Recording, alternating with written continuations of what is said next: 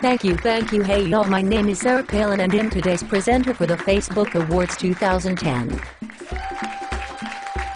I just wanna give a shout out to that nigga Big Bay. Goddamn, he makes me so horny. I just wanna fuck the shit out of him. But enough of all that. The first award is for the Now That's a Bad Bitch Award. And the nominees are LaWanda Hall, Annette Moore, Anna Bonnet, Louise May, Virginia Bisonga, and Laquania Robertson.